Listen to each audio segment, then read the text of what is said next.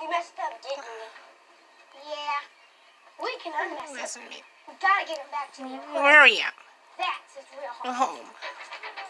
We don't have time to get him back now. We're late for Parents' Day. We'll take him with us now and return him Oh, later. here we are. Take him to parents and him We could hide him behind Boy's shed. Yeah. Sure, I don't mind. I really think this is a uh, bad idea.